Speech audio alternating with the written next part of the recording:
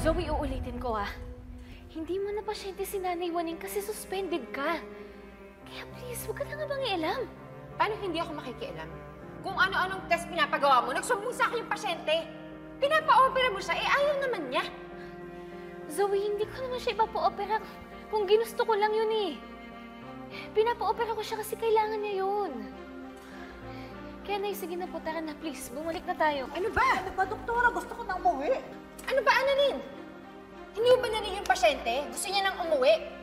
She already signed a waiver, kaya hindi mo siya pwedeng pilitin ma-ospital. Baka nakalimutan mo yon dahil sa sobrang pakalamera mo. Nay, please lang po makinig po kayo sa akin. Baka po kasi maging risky kung hindi po kayo magpapa-opera. Kaya sige na po. Risky? Bakit? Hindi ba risky kung magpapa-opera ko? Pwede naman ako mamatay ah, habang binibiyak niya ang ulo ko.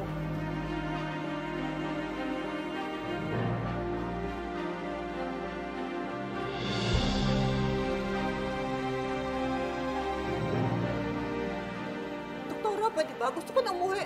Hatid mo na ako. Doktora! Oh, Annalyn, narinig mo, di ba? Iuwi ko na siya. Na? Napakailamera sa habang buhay. Sana nagbago.